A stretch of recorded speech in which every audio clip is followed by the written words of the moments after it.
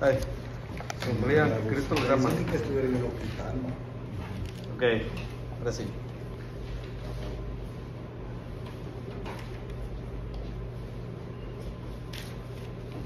¿Cuál fue la hoja que estábamos usando? Esta, ¿no? Sí. La que dice arriba los cielos. Los cielos. Esa, donde llegamos al arca de Noé, Exacto, sí. y luego vimos Génesis 7, Jafet, y Cam, 7, y Jafet, sé qué escribir. Se me. Pusieron también toda la genealogía que está acá. Lamec, Matusalén, Jared, Manalel, Cainán, Enos, Seth, y luego pusieron abajo a Abel, a Caín, Lucas 17, 27 al 30, todo eso está en su hoja. Aquí, aquí abajito de estos círculos, Ajá. ahí, Lucas 17, Oh, 17, Ajá. 27, 26, 30, y ahí están todos los, las Lo de genealogías Abel, que vimos. Mehujael, exacto. Matusa- Matusalén, Matusael. ¿Es Sí. Matusael o Matusalén? hermano? Ajá, Matusalén y al final está la Mec y luego vimos Caín y vimos esa cita de Lucas 17, 26 al 30 Sí. y ahí nos quedamos, ¿no? Y vimos que la, la dispensación de la conciencia duró 1656 años. ¿ok? Sí. O sea, pues ahí la Biblia va explicando tantos años vivió fulano, tantos años un sultano y pasó esto, así. Y la Biblia va contando los años y por eso que se puede saber cuántos años pasaron en, esas, en ese transcurso de tiempo que la Biblia está explicando. ¿Ok? Ahora, hay gente que piensa que la- el planeta Tierra tiene aproximadamente dos mil y tantos años, porque, o cuatro mil años, porque piensan que es desde que eh, la, la escritura se empezó a escribir, o la- de, que la- de acuerdo a, las, a la cronología que la Biblia lleva, pero en realidad no, ahí vemos que la creación original en Génesis 1.1, en el principio Dios creó los cielos y la tierra, en Génesis 1.2 vimos que la tierra estaba desordenada y vacía, y vemos que hay escrituras donde habla que para Dios un año puede ser como mil años y mil años puede ser como un día. Entonces, realmente no hay una manera de datar el planeta Tierra. Ni lo que la Biblia está diciendo, está diciendo específicamente que la Tierra tiene esa cantidad de, de años de existencia. Entonces ahí ya podemos ver que cualquier tipo de esas eh, descubrimientos científicos que ahora el hombre va haciendo en nada están contradiciendo lo que la escritura dice, ¿verdad? El hecho de que haya fósiles y otras cosas no, no está contradiciendo nada lo que la escritura dice, ¿ok? Entonces ya vemos Génesis 4, del 4 al 5, donde estamos hablando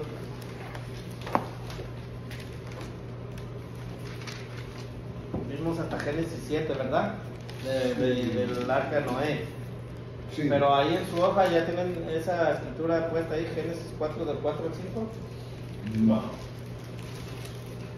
Aquí, Oh, ¿no? sí, cómo no. Aquí a un lado, aquí está. Sí, ya lo tenemos. Ah, sí. Sí, ahora que lo, sí lo leímos, creo que sí, porque ya empezamos Sí, a leer lo- que era Génesis 7, donde habla Sí, del diluvio.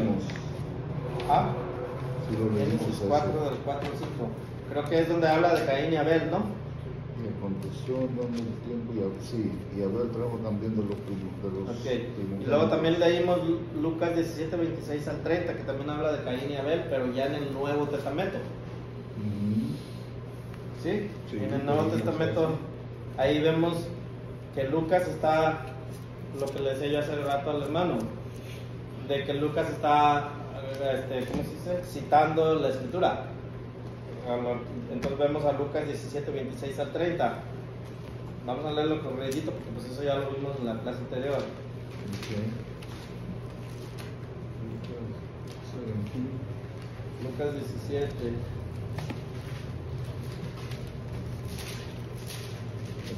26 al 30.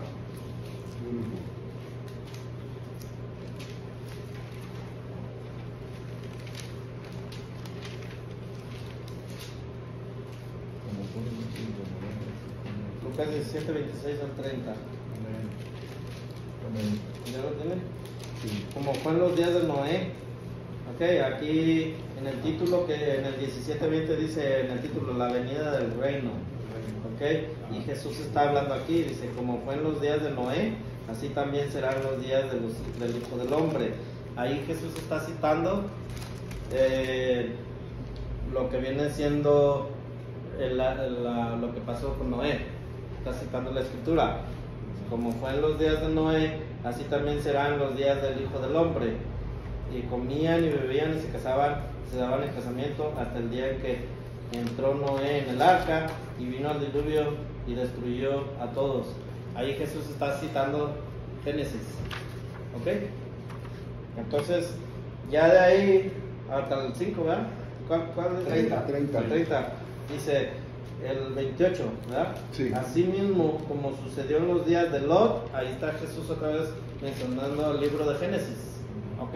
Así mismo como sucedió en los días de Lot, comían y bebían y compraban y vendían. Dice, plantaban, edificaban, mas el día de que Lot salió de Sodoma, llovió del cielo fuego y azufre y los destruyó. Así será el día en que el Hijo del Hombre se manifieste. Ok, vemos que Jesús está profetizando algo que va a pasar a futuro, porque lo que estamos aprendiendo aquí es profecía, ¿verdad? De cosas que, profecías que ya se han cumplido, otras que se están cumpliendo y otras por cumplirse están, dice la canción. ¿Sí? Entonces dice, así será, fíjense, Jesús está profetizando aquí, pero está citando Génesis, ¿ok? el libro de Génesis. Dice, así será en el día en que el Hijo del Hombre se manifieste, en aquel día en el que, el- dice, el que esté en la azotea y sus bienes en el campo, así mismo no vuelva atrás. ¿Ok? Voy a decir un poco de historia. La diáspora. ¿Sí saben lo que es la diáspora? ¿Han oído hablar de la diáspora? Sí. ¿Sí? Fueron en el año 60 después de Cristo. ¿Sí? En el año 60 después de Cristo los judíos este, se rebelaron en contra del imperio romano y querían ellos tener su independencia. Como Jesús no les dio la independencia política que ellos estaban buscando, cuando Jesús ya había, se había ido al cielo, ¿verdad? Entonces ellos hicieron una, una guerra, quisieron independizarse. Entonces el emperador romano, el emperador romano mandó sacar a todos los judíos de Palestina. ¿Sí? Y ya no les permitieron nunca más volver a, Palestina o a Tierra Santa. Y se regaron por todo lo que era el imperio romano. ¿Sí? Entonces, Jesús ahí está profetizando de eso, de que eso iba a suceder. Por eso les dice, cuando oigan se vayan a las azoteas, o vayan a las montañas o lo que sea, dice, porque va a venir aquel gran día de aquella aberración. Fue una profecía que ya se cumplió en ese entonces. Por eso, por, eso es que los judíos fueron dispersados y fueron, muchos de ellos fueron muertos y muchos de ellos fueron dispersados. Pero los cristianos, como ya Jesús les había advertido de esto, los cristianos judíos y gentiles huyeron y se escondieron en las montañas, así se fueron a vivir a otros lugares, a otros pueblos, a otras ciudades. Y así fue como el Evangelio de Jesucristo se fue predicando por todo el mundo, conocido por todo el mundo que había civilización en aquel entonces. Había en esa época, por ejemplo aquí en América, pues la- había ahí, sabemos que la- nos- sabemos que hubo indígenas y que hubo los incas y los toltecas y todos esos en, en las épocas de Jesucristo o antes. Entonces, pero cuando la Biblia habla del, del mundo, se está refiriendo al mundo que había civilización o que era conocido por ellos, entre los que ellos escribían historia todo eso. O sea, cuando habla la Biblia del mundo, se está refiriendo a todo lo que abarcaba parte del Imperio Romano y algunas ciudades a, sus alrededores. ¿Sí? Porque ellos, había lugares que ellos no conocían ni sabían de esas razas ni de esas personas.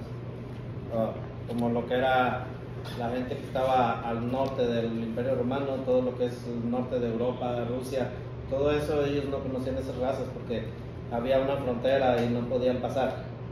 no podían, había un río bien grande y, el, y no podían pasar porque el que pasaba para allá salían, eran como caníbales, se los comían o lo que sea. Entonces por eso el imperio romano no pudo gobernar y conquistar esos lugares. Ahí no había civilización, ahí no había letras, había, no había historia escrita ni nada, ellos sí la tenían escrita. ¿Sí? Entonces, ahí estamos viendo que, se- que la- lo que Jesús está profetizando ahí se cumplió en ese entonces. Entonces, pero hay gente que piensa que esa escritura se está refiriendo al fin del mundo, o al milenio, o al rapto, o lo que sea. Entonces, todo eso hay que saberlo, ponerlo en su lugar. ¿Ok? Entonces, ya de ahí vimos Génesis 7, vimos a Jafet, Sem y Cam. ¿Quiénes son Jafet, Sem y Cam? Hijo Y vamos a. Génesis 7, son los hijos de Noé. ¿Verdad? Sí. Y luego ya, entonces ya pusieron abajo estos nombres, a un lado de Caín, Enoch, Irad, Memujael, Matusa- Matusael y Lamech. No, Esos ya Matusael. ¿verdad? Es Matusael, no cambiaron. Ok. Entonces ya. Yo no lo dibujé aquí porque pues les vengo explicando. Pero ya después de aquí de abajo, aquí abajo de este cuadro, es donde vamos a poner sus nombres. Génesis 7, Sem y Cam. Jafet, Sem y Cam. Son los descendientes de, de Noé. Y luego de ahí, cuando Noé cuando Noé sale del arca, comienza lo que viene siendo la dispensación del gobierno humano. ¿Ok? Una vez que Noé sale del arca, cuando ve el arco iris y Dios le hace un nuevo pacto con Noé y les dice: Ok, el arco iris es esto y de esta manera vamos a, voy a- vamos a hacer así. Y si tú haces esto, entonces yo voy a hacer esto y esto, y lo otro". hace un pacto. Y entonces vamos a ver, ahí está Génesis 10. So, arriba va a ser, como quien dice aquí, ya vamos a hacer otra segunda hoja. ¿Ok? Otra tercera hoja. So, aquí está. ¿Cuál es la tercera hoja? Aquí tengo. Ok. ¿Sí. ¿Usted ya lo tiene dibujado toda? No, no, no. Esa de mismo. Ok. Vamos a hacer un tercer arco aquí. En la tercera no, hoja. No, el juzga él es este. Oh, ok. Sí, es su- Mire, está un arco aquí, el segundo arco, y en tercero veamos, eh, vamos a poner el gobierno humano, que va a ser en esa hoja que les estoy dando. En la hoja que sigue, después del arco de Noé, Tendría que ser este, ¿verdad? Sí. de ah, y ahí va a poner, ¿qué les dije? El gobierno humano. en el arca. Ajá. El gobierno humano. Ahora, en el gobierno humano vamos a ver esa dispensación, que es la manera como Dios trató con el ser humano en esa época. ¿Ok? Abajo podemos ponerle, tenemos que dejarle un espacio porque acá todavía vamos a escribir. Acá. Pero esto es lo que pasó, lo que sucede después de la muerte. So, no sé si acá, en esta hoja, en la segunda hoja, le escribieron 1556 años. ¿Sí lo escribieron? 1656. Ajá, años. Es lo que pasó desde que Adán y Eva fueron echados hasta el arca de Noé, pasaron 1656 años. Ok. ¿Ok? Después, en esta dispensación del gobierno humano, fueron 427 años. So, eso hay que escribirlo. Bueno, tenemos que dejar espacio para que esto. Eso- esos 400 y algo sería. Solo que vamos a, esos 457 años es lo que vamos a estudiar ahorita, Ok. ¿ok? Que viene siendo el gobierno humano, fue lo que pasó después de que Noé salió del arca, ¿ok? Entonces abajo del, del arco ponemos Génesis 10, así chiquito, y luego le ponemos linaje de Noé, Génesis 10, el capítulo completo, el capítulo completo. Eh, sí, todo el capítulo completo. Génesis 10 y Génesis 10. Y ¿Linaje de? De... Linaje de Noé. No. Linaje de Noé abajo de. Génesis. Y entonces, como ven aquí, hay toda una lista de nombres, que es una genealogía. ¿Ok? Descendientes de quién? Ahí ya vimos que dice linaje de Noé, ¿verdad? Entonces, se los voy a dictar uno por uno. ¿Listos? El primero es, bueno, no sé si es Gomer o Gomer, pero G-O-M-E-R, Gomer. ¿Cómo? Gomer. Sí. Un G de gato, con la letra de G con la que se escribe gato. Le dije al pastor, yo soy su miau. Yo digo, yo soy el miau mayor. Gomer, luego el otro es Magog, Magog, también es. M-A-G-O-G, Este tiene vocal. Magog.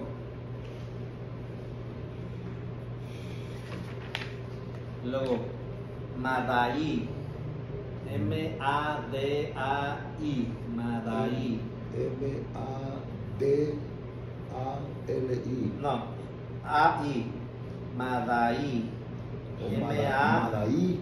Mada, M-A-D-A-I, Madai. Lo Javán, Amán con H. Ja- con J, Javán. Y la B, y la B que va así, V. De vaca. la V. Luego Tubal con la B, la otra B que no es V. Subal, como de subir. De Tubal. Tubal. T-U-B-A-L, Tubal. B de, B. Tu, tubal. Como si fueran muchos tubos, Tubal, un Tubal. Como si fuera subiendo. Tubal. Y luego tiras, Tira. tiras. Tira, como de Así como, como las tiras de trompo, o sea, tiras. Tirar el trombo. Y luego me dicen, si, si- si se atrasan, me dicen para repetirles. Y luego Elam, ah, Elam, E E-L-A-M, Elam. M al final. Ah, y este está así como más ára- árabe. Dice Arfaxad. Es la A-R-F-A-X-A-D. A-R. Ar, y luego Fa. Fa. Fa, F-A. Y luego X-A. Arfa. Xat. A-G al final, después de la X. A R F A X A D de dedo. X. A. D de- Arfaxad. Arfaxad. Ajá. Ese fue la linaje de Noé. ¿Ok? Ahora ahí vamos a escribir Palestina.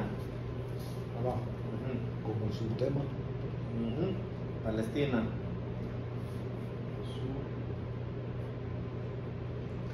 Y luego ahí ya viene Azur. A S U R.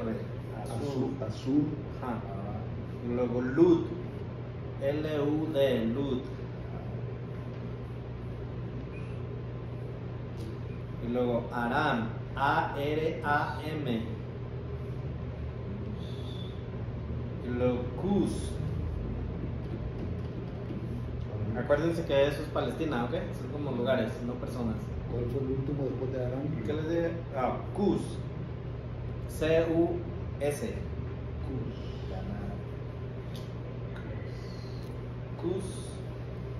Luego, Misraim. Mis. M-I-Z. L. M. M de mamá. I de iglesia. Z de zapato. R de Ramón. A de Antonio. I de iglesia. M de mamá. M de Misraim. Misraim. Misraim. Ok. Y Luego, Food. Fue tu te- Luego, Cana, Canaán. C-A-N, luego dos A's y luego la N. Canaán. C-A-N-A-A-N. Y ahí abajo vienen siendo los 427 años. ¿Ok? ¿400 qué es? 427 años. 17. 427 años. Luego ahí ya se termina el gobierno humano y vamos a poner otro cuadrito igual, que viene siendo la Torre de Babel. Este. Ahí ya cuando se termina ese arco, y hay otra división, ahí se acaba el gobierno humano, y es la Torre de Babel. Van a poner un cuadrito y dibujan la Torre de Babel. Y ahí la cita bíblica para la Torre de Babel es Génesis 11, 1 al 9. Ok. Ahora, arriba pusimos el gobierno humano, ¿verdad? Sí, señor. Ahora, a más para arriba, porque aquí ya se está refiriendo a cosas que están en, en los lugares celestiales. Aquí arriba. Ven que aquí había una raya de este mundito, pasaba por arriba del arco y llegó a donde está el ángel este. Y luego aquí hay otra raya que ya se continúa para allá. ¿Ok? Esa, arriba de esa raya, ya habíamos puesto en las otras horas Satanás, Arcángel caído, Ezequiel 28, Voces 19, todo eso ya lo habíamos leído. Y acá arriba del gobierno humano van a poner Padre. Acá mero arriba van a poner Padre. Es cuál persona de la edad estuvo tratando con ellos en esa época. Por eso es que se pone. Acá fue Dios, los cielos y el Padre. ¿Sí, sí se está entendiendo? Ok. Y abajo está el Padre, pero también está ahí su, su, su, su- su contrincante, el príncipe de las potestades del aire. Hermano, disculpe, abajo donde dice padre, ¿qué qué es lo que dice? El príncipe de, las de la potestad del aire. No, no, no, no, no. Dice príncipe O príncipe. De la potestad del aire. Efesios 2.2.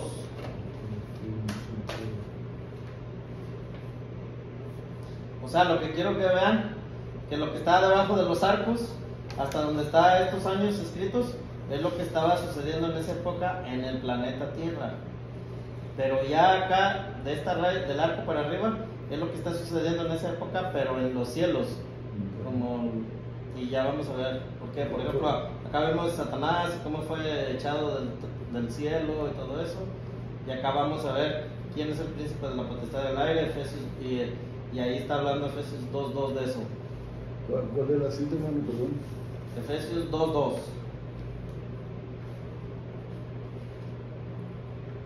Ok.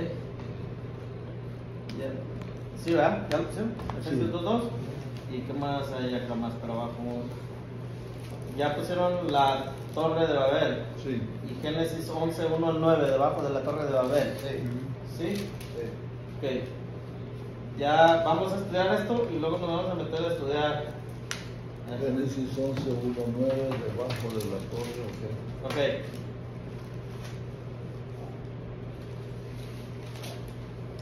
Beautiful bambú.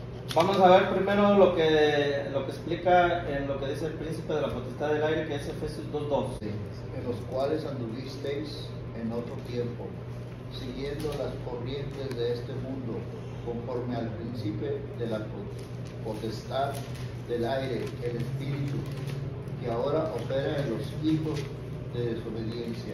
Ok. Ahora vamos a ver. ¿Quién está hablando aquí? El libro es Efesios. Pablo, Ajá. Podemos ver quién escribió Pablo, ¿verdad? Este.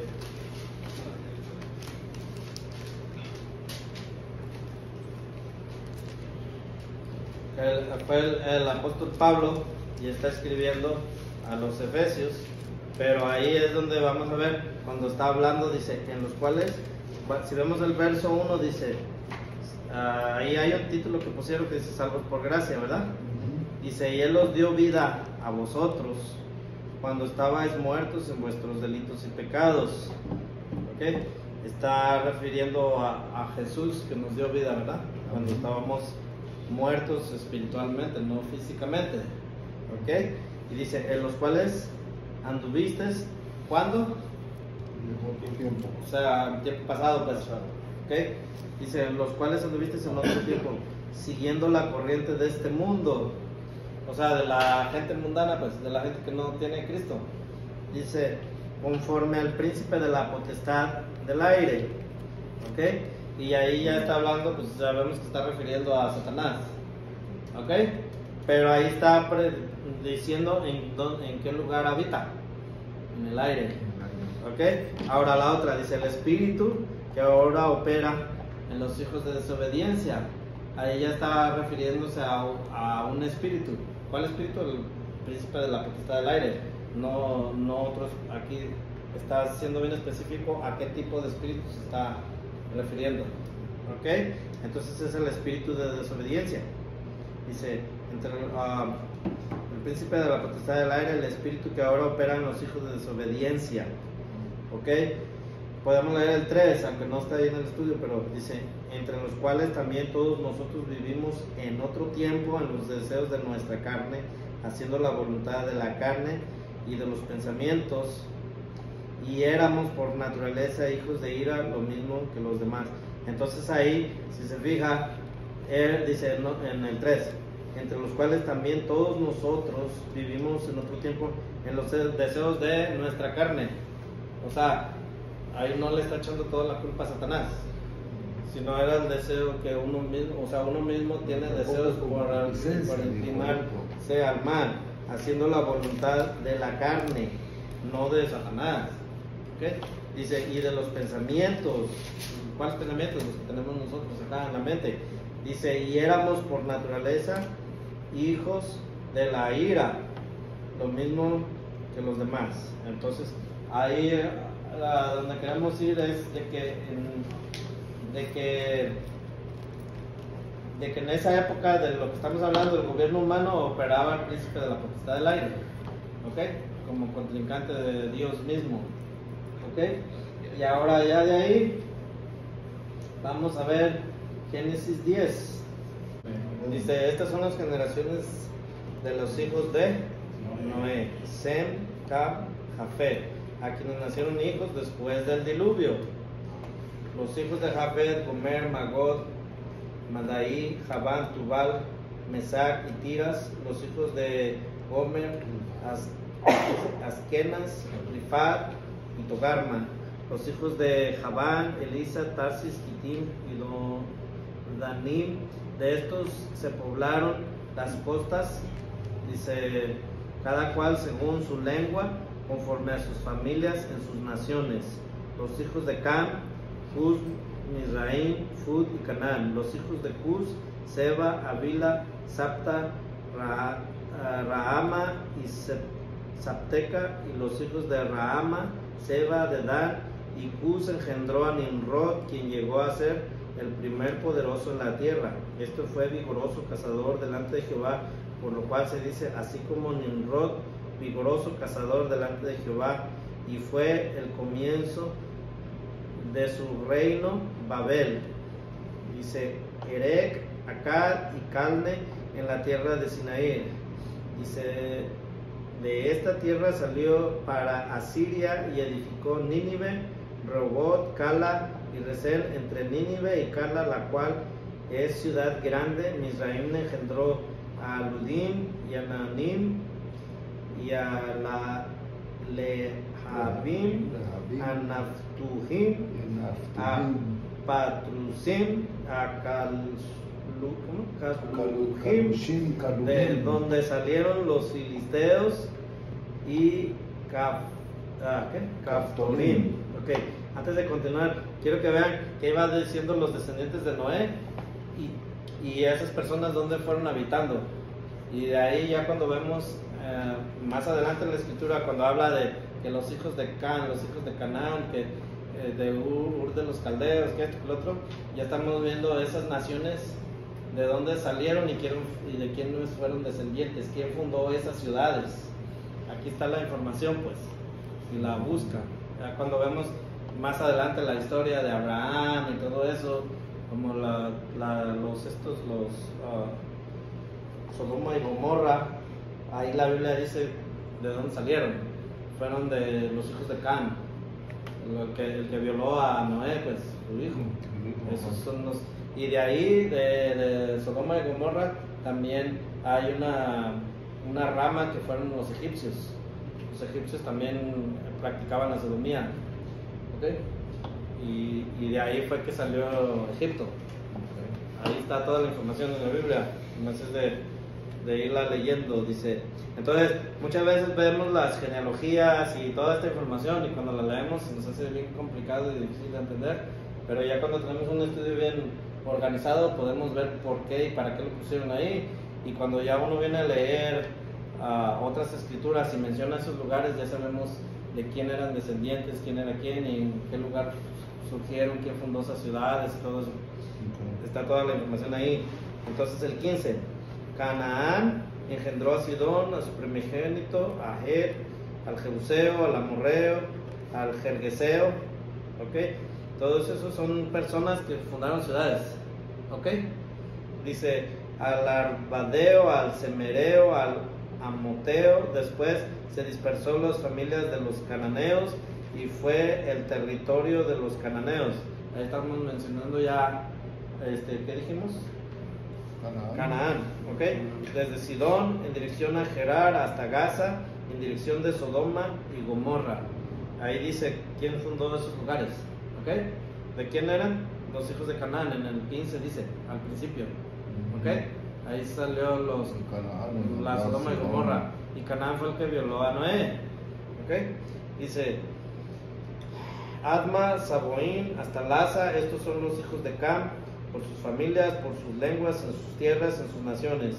También les nacieron hijos a Sem, padre de todos los hijos de Eber, hermano mayor de Jafet. Los hijos de Sem fueron Elam, Asur, Asfaxad, Lud,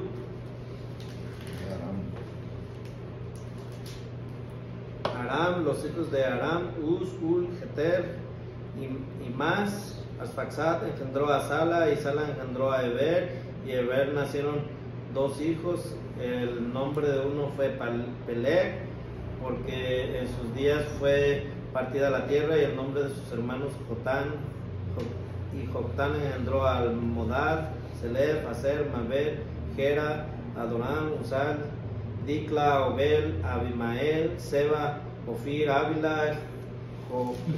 Jobab, y todos estos fueron hijos de Jo- Jotán.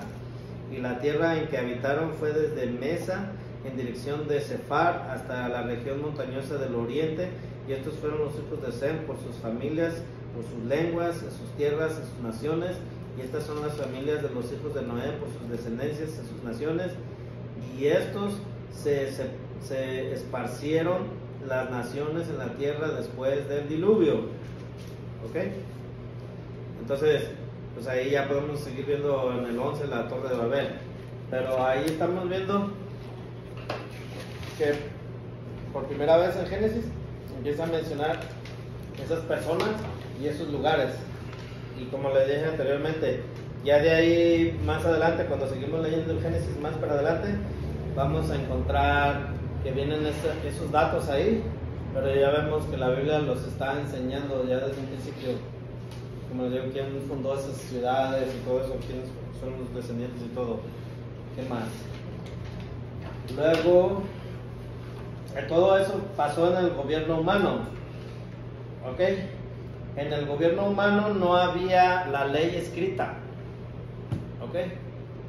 No había, después de que Noé, antes de Noé, por ejemplo, en la inocencia, Noé, Adán, hablaban con Dios directamente, en persona. Pero después de que fueron echados del huerto en la conciencia, eh, ellos tenían que hacer, am, ¿cómo se dice? Tenían, por medio de su conciencia eran juzgados delante de Dios. Entonces, pero después Hay que hacer sacrificios.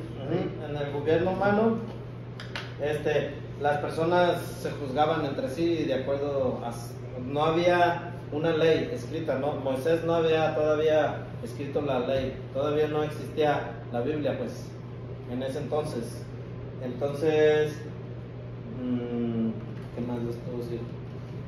Ah, solo eran juzgados de acuerdo a su conciencia, pues, y, ellos sabían de Dios por tradición, por tradición humana, no porque había escrito algo que hablara de Dios ni nada. Ya se vino a saber de todo eso hasta que Moisés entonces Dios le dictó el Pentateuco a Moisés y Dios le dictó todo eso que está ahí, lo de Adán y Eva, lo del arca de Noé, lo de la torre de Babel, todo eso se lo dictó Dios a Moisés. ¿Ok? Así es como Moisés supo de todo eso, porque pues Moisés nunca estuvo ahí. ¿Sí? ¿Estamos bien? Entonces, ¿qué más? ¿Qué más? Y ahí ya vimos que todo eso sucedió en 427 años. Hermano, eso sucede cuando Moisés sube al, al, monte de, de, de, de- ¿cómo se llama? Sinaí. Sinaí. Sinaí. Sinaí. Ajá. Es lo que el Señor le, le- le- le da a conocer cuando 40 días que él estuvo arriba del monte. Sí, y, pero eso ya vino siendo hasta, hasta la dispensación de la ley. Todavía después del gobierno humano viene la, la dispensación de la promesa, cuando Dios saca a Abraham de Ur de los Caldeos y le dice, vete de tu tierra, y, y hace un pacto con él y le dice, vas a hacer esto y esto y esto. Pero luego ahí es donde vemos que Abraham se iba para Egipto, no hacía lo que Dios le había dicho. Es donde vemos que Dios le dijo que sacrificara a su hijo y luego vemos que se acostó con, con la esclava y todo eso. Pero ese es en el, en el gobierno, digo, en la promesa. O sea, porque ahí es donde Dios le da una promesa a Abraham de que va a haber una descendencia y todo. ¿Ok? ¿Qué más puedo decirles de esto? Sería bien, se me hace, pues no está aquí, pero se me hace como, como que no estaría completo si no lo viéramos. Vamos a Mateo 1.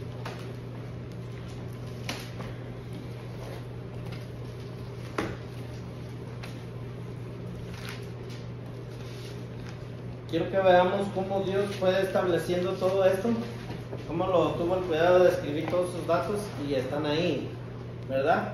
En veces, cuando no lo hemos estudiado de esta manera, pues leemos eso, como les dije hace rato, y no se nos hacen importantes, como que, ay, ¿para qué voy a leer las genealogías?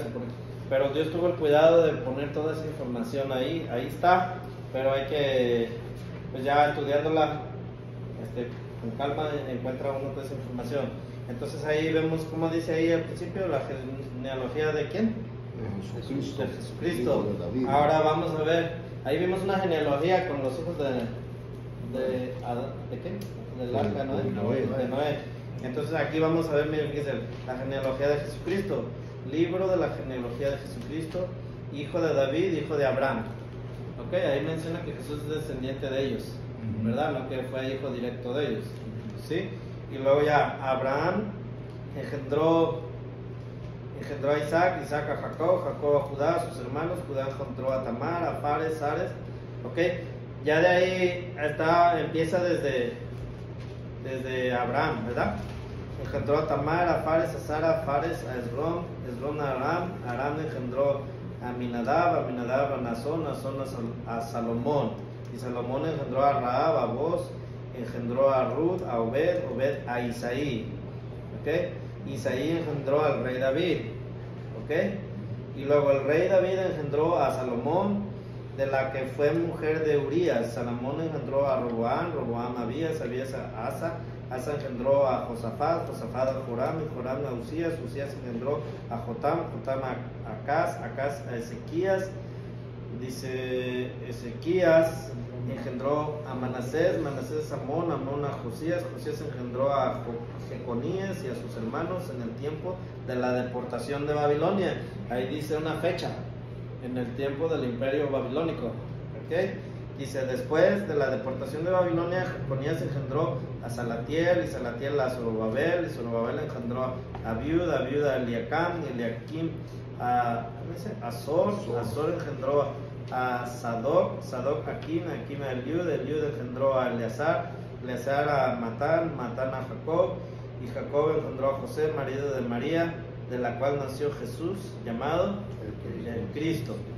De manera que todas las generaciones desde Abraham hasta David son 14, desde David hasta la deportación de Babilonia, 14. Fíjese bien. Dice, ¿cuántas generaciones? Dice, y desde la deportación de Babilonia hasta Cristo, 14. Ok, el 18. Y ya empieza a narrar el nacimiento de Jesús. Por, ya vimos en el estudio, cuando estuvimos estudiando el Evangelio según San Mateo, que el libro de Mateo fue escrito para los judíos y fue importante que el libro que Mateo escribiera la genealogía de Jesucristo para comprobar que Jesús era descendiente del rey David, por lo tanto le pertenecía la corona ah, judía. Él podía ser rey, por eso Herodes lo quiso matar, porque le podía quitar el reino si se levantaba una independencia y luchaban contra él. Pero aquí estamos viendo cómo la Biblia va conectando todas las genealogías y podemos encontrar de quién fue descendiente cada quien. Y por ahí hay otro lugar en una genealogía desde habla desde Adán hasta Jesús. ¿Verdad? Ah, entonces, yo creo que pues ya paramos ahí, porque ya pasan las nueve. Pregunta, antes Sí. esta Raab, hija de Salmón, esta es la, la, la, la prostituta que, que protege a los que habían llegado a, ¿Hija de qué? de Salmón. No. Salmón engendró a Raab. Ese es Raab. Ajá. Ok. No, sí, Raab. Ah, Aquella era Raab, ¿no? Raab, sí, Ok. es de Raab. Ahora le voy a decir una cosa. Ahí dice que era una prostituta, ¿verdad? Ujú. Ok. También esa palabra de prostituta también es un hebraísmo y no tenía el mismo significado que ahora nosotros entendemos. ¿Ok? Y entonces ya de ahí en veces se sacan ciertas conclusiones de ciertos personajes de la Biblia que lo consideraban prostitutas, pero en realidad no era lo que nosotros pensamos como prostituta. Ajá. Pero se los voy a dejar que ustedes lo estudien y se den cuenta por ustedes mismos, si no me van a... No quiero que me estoy inventando. Pueden investigar. Como así como... eh, eso es referente a los hebraísmos. Como la aguja, la aguja... La, No, pero es que la Biblia no dice prostituta, dice ramera. Ah, esa, esa, esa, esa, esa palabra, esa palabra, es ramera. Luego está la, la aguja, la, el ojo de la aguja, Era una puerta. era una puerta que veía, eso es un hebraísmo, pero nosotros lo podemos interpretar como realmente, ajá. Y luego, ¿qué otro hebraísmo hay por ahí que ahorita se me está viniendo en la cabeza? Ah, carpintero. La palabra carpintero se conocía como un contratista, no era específicamente alguien que se dedicaba a la madera. Sí, entonces todas esas cosas cuando ya estudiamos la historia y lo- el lenguaje, cómo se interpretaba y todo eso, los que estudian el hebreo, el arameo y todo eso, nos vamos dando cuenta que, por ejemplo, José, el, pa- el padre de Jesús, era un contratista, no, no precisamente carpintero, carpintero, que estaba con- siempre lo llevaban a Jesús con un martillo, unos clavos, un serrucho. ¿Verdad? Queremos, ¿no? Es lo que pensar, lo que identificamos nosotros Es lo que cuando se nos dicen esas palabras. Entonces ya cuando entendemos realmente la- lo- a lo que se estaban refiriendo cuando mencionaban esa palabra, ya... Ahora, ¿por qué, por qué los hebraísmos, por qué los pusieron así en, la, en esta versión de la Reina Valera 1960? Porque Reina era un, monje católico que vivió en esa ciudad que se llamaba Valera. Ellos tenían, los católicos tenían prohibidos tener acceso a leer la Biblia. Los católicos tenían escondidos los códices, los manuscritos, la Biblia la tenían escondida. El, el- catolicismo no dejaba que la gente la leyera porque entonces descubrirían muchas mentiras que ellos enseñan.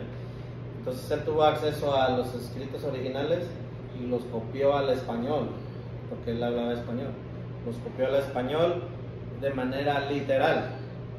No lo interpretó. ¿Cómo es de manera literal? Por ejemplo, si yo digo hot dog y interpreto la palabra hot dog de manera literal, se diría hot es caliente y dog es perro, ¿verdad? Entonces sería caliente perro, ¿no? Literalmente. Pero en español se interpreta como como un perro caliente, ya sabemos que es un- una, un, un des- como sándwich, ¿no? Con una salchicha adentro. Entonces, ya de- si, si nosotros vemos una historia y en ese lugar no conocen los hot dogs, ¿verdad? Y dicen, y el hermano, yo escribo una historia, ¿verdad? De mi, de mi ¿cómo se llama? De- Biografía. Sí, de, la historia de mi vida, pues un diario, pues. Y yo pongo ahí, y el hermano Chávez, el hermano Héctor se estaban comiendo unos hot dogs, unos perros calientes, ¿verdad? Entonces, esas personas en esa época no conocen qué es un perro caliente, pues van, oh, los hermanos com- se comían, Comían perros. comían perros los cristianos en aquel entonces, y, y se los comían calientes. Entonces, ah, es un, se ve chistoso lo que sea, pero es una manera de ejemplificar los hebraísmos, que en veces uno lee ciertas cosas y uno las interpreta de otra manera. ¿Verdad? ¿Sí? ¿Estamos bien? Tiene sentido. Ok, entonces vamos a ver para terminar.